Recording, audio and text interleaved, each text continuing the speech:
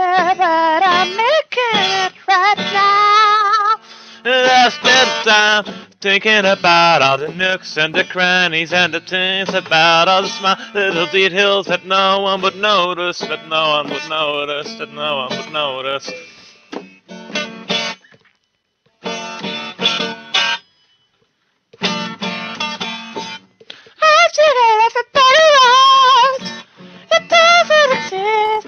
But I'm making it right now.